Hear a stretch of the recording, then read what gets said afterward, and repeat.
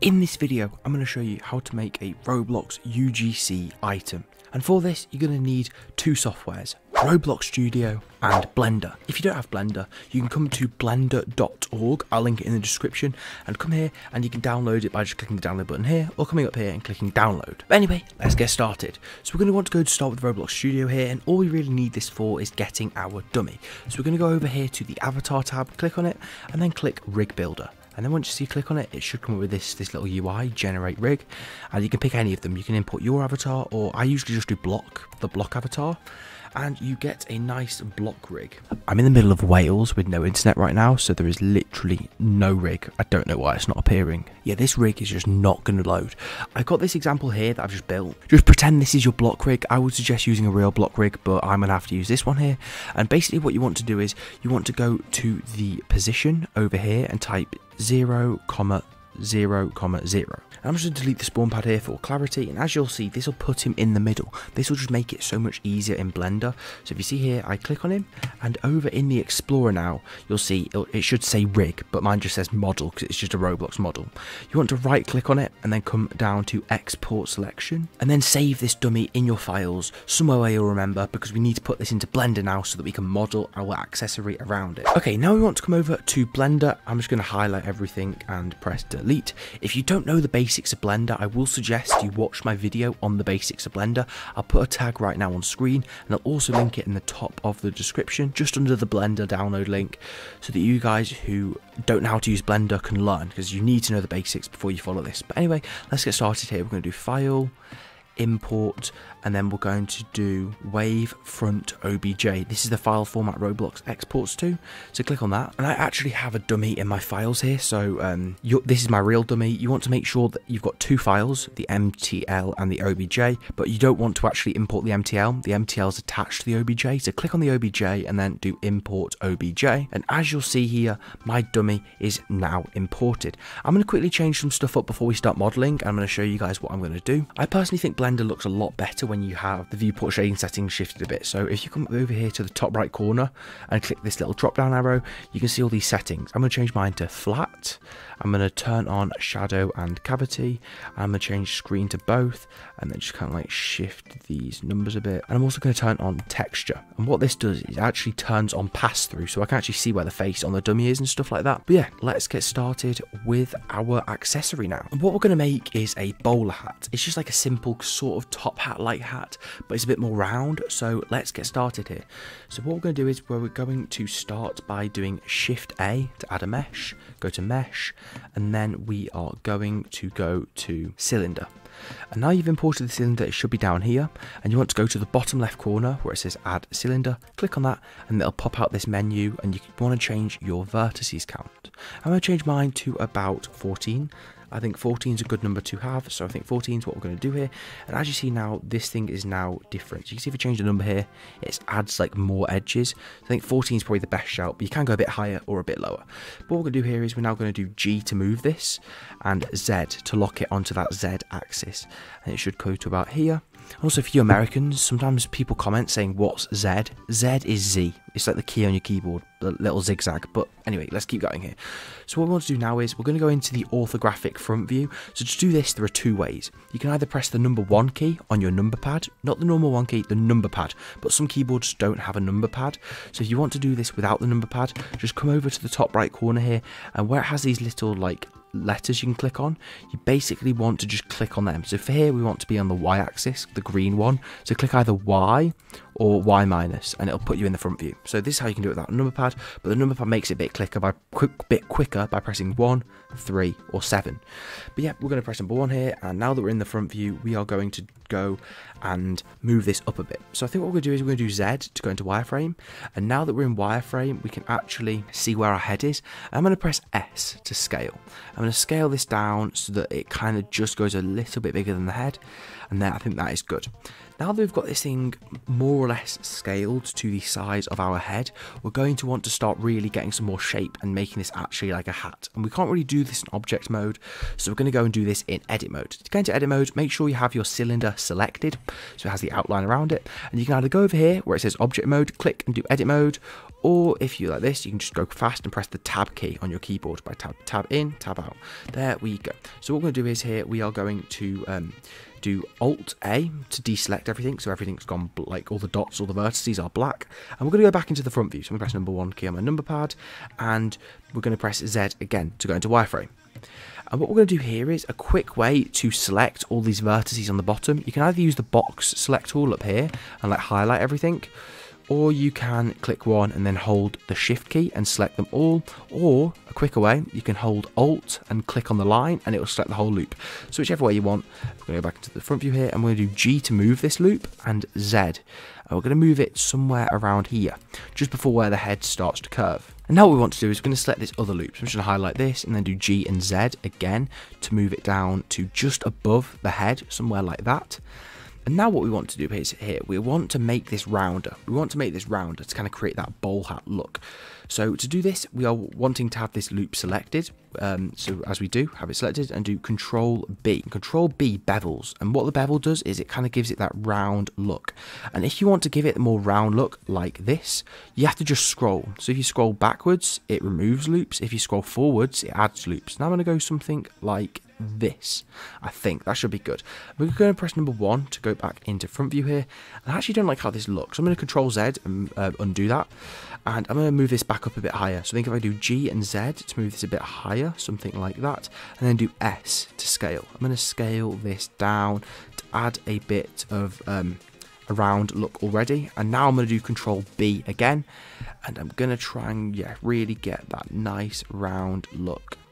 I think something like that will do. And as you see, this is starting to look a little bit more round. I actually think I'm going to move this loop up a bit. I'm going to move this up a bit and then scale it in. So what I did there was I just selected this loop, G to move, Z to move on the Z axis, and then just press S to scale. And we're going to highlight everything here and just move it down a bit just so there's no clipping and there we go we've got the base done. Now we're going to press tab again to go into edit mode and up here in the top left corner there's this little dot the line and the square. The dot is vertex selection mode the line is edge selection mode and the, the square is face selection mode. Select the square the face selection mode and we're going to select this face that's just showing here. You can always hide your dummy, so go to object mode and hide the dummy, and then here you'll see that we can select this face and then press delete, and then delete faces, and that will delete that face, and now that is gone, that is what we want. We're going to re-show the dummy here. now what we're going to do is, we are going to do Alt and select this loop here, and now we're going to do E to extrude. And this basically adds another loop. And we're going to do Z to scale it on the Z axis and keep it going down and now we're going to left click somewhere around there. And now we're going to do S to scale this outwards. And what we're doing is we're trying to create that kind of like curve, like bowl hats kind of have this like curvy out a bit.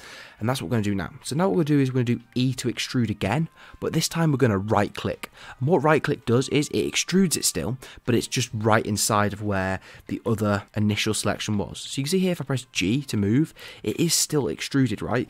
It just means that we've extruded it and reset it back to its uh, initial location. So we do Control Z here, and we're going to press S to scale. And this will basically just scale it out a bit. And now we're going to do E to extrude again, and Z to move it up a bit. We want to move it up about here and then do S to scale this outwards. And now what we've got here is you've kind of got this round, nice rim. And I'm going to show you here a, a couple tricks here just to make it a bit easier because we want this thing to be extremely clean. When we're done with it, we want like a nice mesh. So um, yeah, we don't want this thing to be this thin. Of course, we're going to add some thickness and we're going to do that soon. But what we're going to do now is we're going to shade this smooth. To shade smooth, just go tab into edit mode, A to select everything, and then go up here to the top and do face, shade, smooth which is down here. And then we want to go out of edit mode here and come down with this mesh selected, make sure it's selected and go over to the green triangle called object data properties and then scroll down to where it says normals open this tab and then tick auto smooth. And sometimes you have hard edges still. If you have hard edges like this you can fix it by doing control R and hover over it left click and right click and then like add some more depth and it'll change it. But one way you can change this easier without having to add any extra geometry is by just adjusting this angle. I usually go for 50 degrees. 50 degrees is just great for low poly modeling. And as you see that has now caused it to kind of like smooth over. And also one thing you might see here, you might observe that there's a chance this happens to yours as well, where it's kind of like dark. You see that it's darker on this out bit, and that is due to the normals direction. The normals direction is basically each face on a model has a positive and a negative face. And what this means is the negative face is invisible in the game engine. The positive face is the only face you see. You can always use the uh, double-sided tool in Roblox Studio. Some of you might have used it. However, the problem with the double-sided tool is it basically doubles how many tris you've got, and actual UGC items can't use double-sided. So how you fix this is you basically want to go and do tab into edit mode, A to select everything, and then do Alt N and recalculate outside. And sometimes that doesn't necessarily fix the problem. However, if you want to check if you've got the actual problem here, you might want to go over here to this little like two dots thing um, and click the down arrow and then change and tick face orientation. And actually what's happened here is the whole thing, the whole thing is negative faces. And what red means is it means the negative faces. So in the game, the red faces are going to be invisible. And as you see under, you've got the blue faces. So what we're going to do is we're going to select the hat here and do A and then we're going to do Alt N and then flip and this will just flip everything and make sure you see no red faces and because this thing is actually only one face thick the bottom face is going to be red but we're going to fix that very shortly so you can tick off uh, face orientation here just so that we go back to normal and what we're going to do here is we're now going to add some thickness. To do this, select your hat mesh uh, or your object and make sure you're in object mode here and come over to this little wrench. This is the modifiers tab. Now we're going to go to add modifier and add something called a solidify modifier. And solidify, what it does is it basically takes every face and kind of like adds an extrusion at a depth of your choice. Sometimes it can do it in like weird directions, and there is a way to fix that I'll show you in a minute, but you come here to the, the thickness and you can adjust it. So you can make it thicker or thinner. However, there's a few problems here where you can see like the hat kind of goes a bit weird. So what we're to do is we're to do control with the hat selected, do control A and then just do rotation and scale. This basically just applies the transforms you've made and it'll help it be a little bit more normal. And what we're going to do here is we're just going to increase the thickness and make it as thick as you want. I think something like this is good. If we hide our dummy again over here, you can see this thing's looking good. And if we go and tick on face orientation, everything is blue, just as you like to see it. And now what you see is we've kind of got this nice hat shape might be covering the eyes a bit. You can always select it and do G and Z to move it a bit above the eyes if that is what you fancy. And what we're going to do now is we are going to basically add a bit more detail here. So what we're going to do first is we are going to apply this solidify modifier. So to apply it, just come over to the modifier here, click the little down arrow and press apply. And now if we go into edit mode, you will see that all the vertices and stuff are there because we've applied it. And we're going to come back over here to the face select mode. This is just going to be an easy way to create a nice little ribbon around your hat. So what we're going to do is we're going to do the alt click selection method. So if we select, have our mouse over this line and hold alt and click, it should select the whole way around. Same if you select this one, it'll select the whole way around on there, but we want this one here, we want this band just here, and this is where we're going to extrude to create that kind of top hat band look. So to do this, we're going to do hold Alt and E on our keyboard, and it comes up with a bunch of extrude options. Extrude faces is what you'd usually use. If you press E right now though, you'll see it doesn't really work. So what we're going to do is we are going to use Alt and E, and then extrude faces along normals. And this will actually extrude every face out, and you kind of like move your mouse and create a nice look. And I think we'll go somewhere like that. And as you see, we've got this really cool looking ribbon along the edge of our hat and this will come through even more when we texture it. You're really getting fancy, you might want to add some more to this. And I'm going to challenge those of you who want to go to that next level and challenge yourself. Try and add a little bow to the front here. Try and add a little bow to the front of your bowler hat. And those of you who attempt this challenge, join my Discord server linked in the description. And I want to see your attempts at this challenge. Show me in, your, in the Discord server and I'd love to see your attempts at making a bow. However, that's going to be it for this video. For those of you who want to know how to texture this, do not worry, I have a video on how to texture UGC items that'll be on screen now. Click that video if you want to learn how to texture. And yeah, thank you for watching. Hopefully I'll see you in the next video.